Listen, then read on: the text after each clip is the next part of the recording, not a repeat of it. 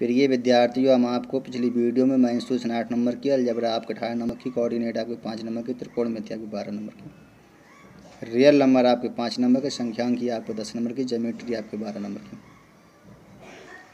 हम आपको unit by unit syllabus करा रहे हैं, समझा रहे हैं, हम आपको टेंथ क्लास का टोटल सिलेबस करा देंगे, आप आराम से घर बैठे बैठे दिन करते रहें, पढ़ते रहें, समझते रहें। देखिए क्वेश्चन क्या जरा ध्यान दें वृत्त में लघु चाप आठ डिग्री है तो दीर्घ चाप ज्ञात करो। देखिए अपने डायग्राम में। आंसर या सलूशन पी क्यू बराबर आठ डिग्री। दीर्घ चाप आपको एक तीन सौ साठ में से जब आप आठ निकालेंगे, क्या मिलेगा? एक सौ बहत्तर डिग्री। अब आप देखिए इसे रेडियन में।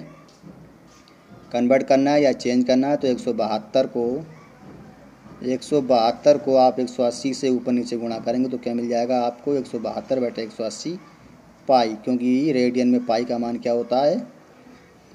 रेडियन में पाई का मान क्या होता है? 180 होता है तो आपका आंसर क्या आ गया? एक सौ बहत्तर बटे एक सौ अस्सी पाई। ये रेडियन में ही आता है। आप वीडियो को सब्सक्राइब ज़रूर करें ताकि आपको और भी इम्पोर्टेंट प्राप्त होता रहे।